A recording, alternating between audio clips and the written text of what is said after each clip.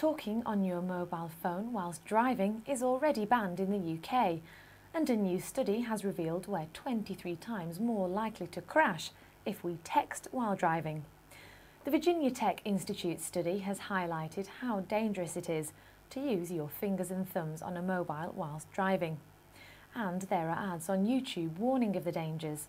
One British public service ad shows teens in a bloody crash after the driver loses control after texting. It's so graphic it's been restricted for over 18s only.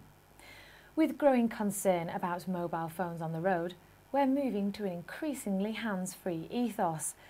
The Plantronics Explorer 370 Bluetooth headset is a wireless headset that'll keep you focused on the road, and it has up to 8 hours talk time, so will last the whole commute.